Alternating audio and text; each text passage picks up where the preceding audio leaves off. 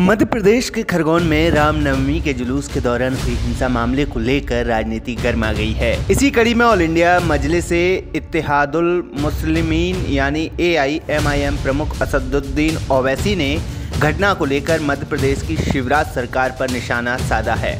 ओवैसी ने ट्वीट कर कहा है कि एमपी में कानून के शासन पर भीड़ तंत्र हावी हो चुका है। भले ही सीएम शिवराज सिंह चौहान की विचारधारा मस्जिदों को नापाक करने और बुज़ुर्गों पर हमले को सही ठहराती हो, लेकिन उन्हें नहीं भूलना चाहिए कि वे संवैधानिक पद पर बैठे हैं।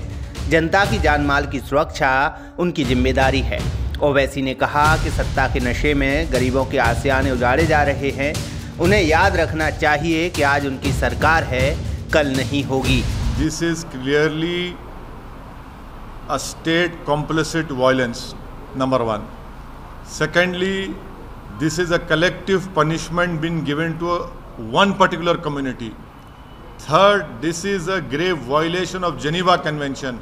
Fourth, under what law the government of Madhya Pradesh has demolished houses of the Muslim community.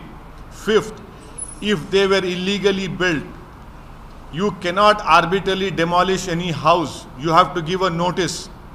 Sixth, you can regularize those houses. Seventh, it clearly shows their biased attitude of the Madhya Pradesh BJP's chief minister and his government towards the Muslim minority because it is a state complicit violence. Earlier it was state sponsored, then it was mob lynching, now it is state complicit violence.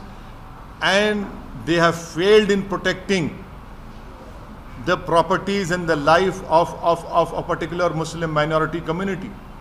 And the last point which I want the people of India to remember, how is it that the old Muslim women were assaulted? 70 year old Muslim women, their, their, their, their elbows were broken, their heads were smashed. Who did this? It is a Madhya Pradesh police. वहीं media से बात करते हुए ओवैसी ने खरगोन के मामले को लेकर शिवराज सिंह चौहान सरकार को आड़े हाथों लिया है। बता दें कि 10 अप्रैल को रामनवमी के मौके पर खरगोन में शोभा यात्रा निकाली जा रही थी। इसी दौरान कुछ लोगों ने शोभा यात्रा पर पथराव कर दिया, जिससे हिंसा भड़क गई थी। जिसके बाद उपद्रव में शामिल आरोपियों के घरों को जमींदोज कर दिया गया है। अब इस मामले को लेकर ओवैसी ने घटना की निंदा करते हुए आरोपियों पर हुई कार्रवाई पर सवाल खड़े किए हैं।